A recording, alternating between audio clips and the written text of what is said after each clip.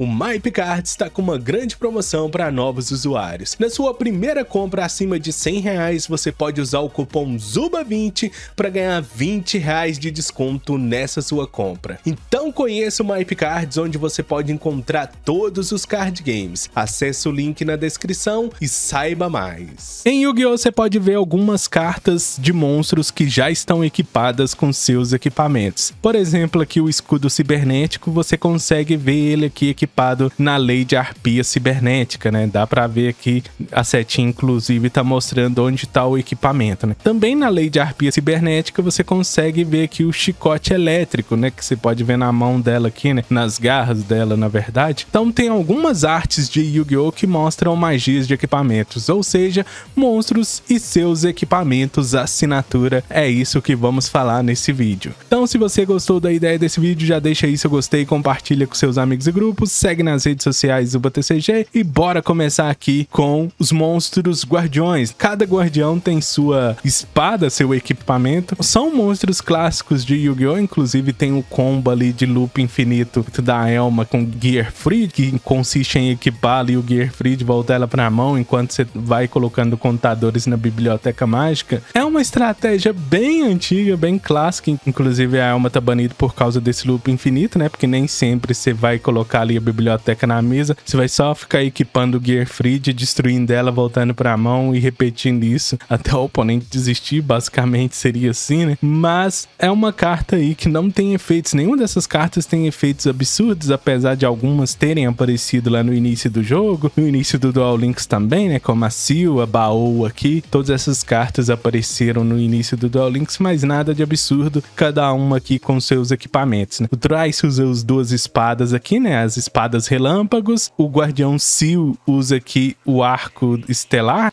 E a Elma, que é a adaga, tá usada pela Elma. O Baú usa a espada aqui é, amaldiçoada. Também tem o Kayest, que usa aqui uma espécie de cajado, né? Um cajado marinho. É o cajado do silêncio, mas não sei se a tradução foi essa, né? Mas é um cajado. E o machado da gravidade é usado aqui pelo Grar, né? Todos vocês podem ver a setinha mostrando na arte ele segurando as armas dele. Tema temática muito legal, legal dos Guardiões podia voltar, né? Também temos aqui o nosso Guilford, que usa bastante equipamento, mas a principal equipamento dele é a espada lendária, que você pode ver aqui. Até os detalhes aqui, ó, tudo para mostrar que é a espada do, da magia de equipamento. Temos também o Dark Blade, que usa a armadura metálica prateada, né? Muito legal. A armadura aí que ele conseguiu no submundo. Tá aí, se você quiser conhecer a história do Lâmina Sombria, tá aqui no canal. Né? Também a contraparte dele, né? O Paladino do Dragão Branco, recebendo aqui a armadura rara como ouro. Muito bonita a armadura, dá pra ver ele vestindo. Agora esse Paladino com a pele verde, queria ver como é que é a face desse cara, né? Temos também a Fuma Shuriken, apesar de na magia tá aparecendo aqui o Strike Ninja, todos os ninjas carregam a Fuma Shuriken, como aqui o ninja branco tá com uma na mão, né? A Cavaleira Valkyria carregando aqui a Phoenix Blade, que é uma espada bem importante para o competitivo de Yu-Gi-Oh! para os decks de guerreiro, né? Então a Phoenix Blade é usada originalmente pela Valkyrie. Agora os monstros aqui das forças Nomad, que faz parte ali da história dos guerreiros clássicos de Yu-Gi-Oh! né? Que tem o, o Fried, tem o Digrapher, tem bastante guerreiros clássicos ali, né? O Capitão Saqueador. Então você pode ver todas as magias de equipamento nessa arte, né? O Machado dos Tolos aqui atrás, o armamento amaldiçoado aqui, né, no canto com outro guerreiro, pestilência aqui no fundo, né, espada com a pestilência, inclusive tá aqui o, o nosso capitão saqueador, mas não é ele que tá segurando a espada, e aqui a maldição de Bill, né, eu acho que eu nunca tinha visto essa carta, para falar a verdade, tá aqui na mão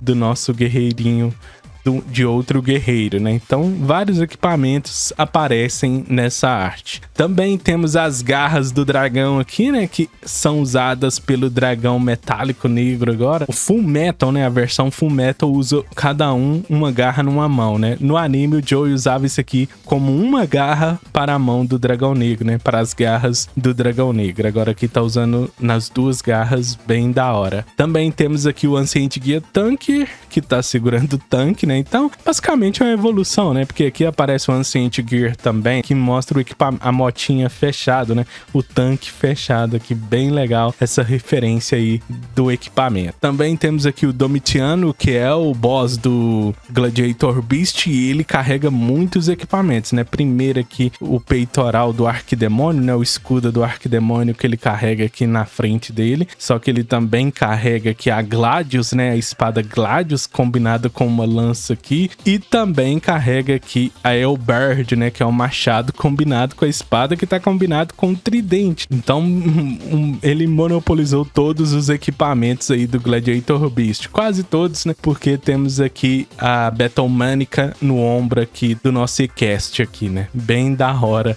Dá pra ver a ombreira, né? Isso aqui, como é que chama isso? É a ombreira, né? Que chama. O Odin também com a Draupnir nos punhos, claro que tem um pouco de mitologia nórdica, então a Draupnir é do Odin. Aí temos aqui a espada das partículas, se eu não me engano, usada pelo Gothams, né? A evolução é a espada final deixada pelos X-Saber originais para os Double X-Saber. Aí temos aqui a Caliburn, né, que representa a Excalibur, que representa a Excalibur, mas tem outra carta que representa a Excalibur também, né, mas aqui é a Caliburn, usada pelo dono, né, o King Artorigus. Inclusive a Excaliburn tá aqui, né, na outra mão dele. Aí temos aqui o Gal Shavad, que usa aqui a arma, a arma nobre do destino, é o escudo, e a espada tá aqui também no ombro dele. Aí temos aqui a Galatin, usada pelo Galvain, né? Tá aqui a Galatin. Temos também aqui a Clarent, usada pelo Medraut, tá aqui na mão dele também. Espada que corrompeu o Medraut aí. Arfeu do Tyr, né? Espada sombria aí, usada pelo Laud Salim. Tá aqui a espada do Roland, que é a Durendal, né? Pega fogo, espada muito da hora. Dá pra ver pela Durendal, pelo aqui, né? Pelo punho aqui da espada. É a Durendal. Aí o Capitão Oliver usa duas espadas que também pegam fogo. Usa Halt Cleric, as duas espadas aí do nosso Capitão Oliver. E o Charles usa a Joyce, que tá no museu lá mostrando para todo mundo quão lendário foi o Charles. Também tem um Turpin que usa a Almace, que é uma espada mais oriental, né? Uma katana, na verdade. Então o Turpin que tem um visual mais oriental usa ela, além de usar um cajado gigantesco de fogo, né? E aqui, os Atlantias, né? Os Atlantias Mermail usam vários equipamentos. A Triaina é usada pelo príncipe, aí quando ele evolui, além da Triaina que ele carrega na mão, ele usa também a, o Cetus, que é a armadura que protege de armadilhas. Ele também usa Mizushi, que é a armadura que protege de magias e também usa aqui as escamas do Kraken. Ele usa as três armaduras, peças das três armaduras, além de ter se unido com Poseidra, né? Então ele pegou todos os poderes para ele, basicamente. Né? Temos também aqui o Capitão Blackbird, né? O Barba Negra usando aqui a luneta para olhar quem tá vindo em direção deles, né? Como um bom pirata nórdico, tá aqui a luneta, tá aqui